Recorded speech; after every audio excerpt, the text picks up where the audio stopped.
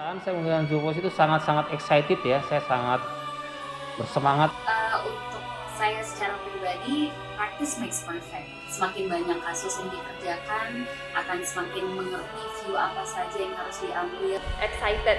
Wah, besok mau zero fluoro sambil berdoa mudah-mudahan besok berhasil, mudah-mudahan lancar tanpa anda kendala.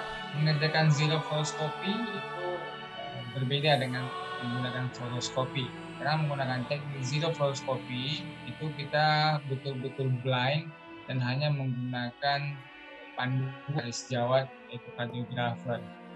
Pada dasarnya mengerjakan fluoroscopy itu eh, jauh lebih mudah.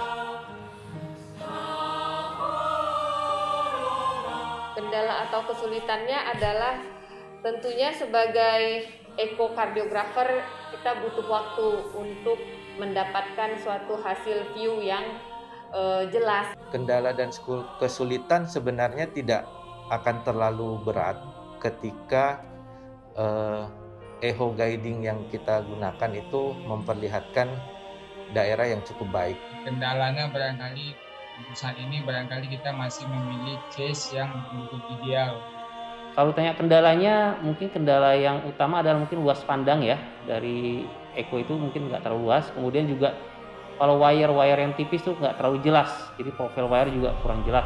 Tapi kalau secara keseluruhan sebenarnya nggak ada masalah.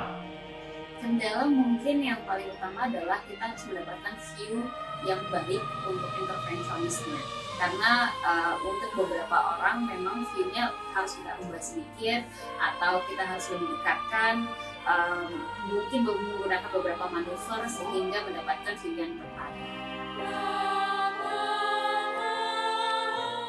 This is the new future.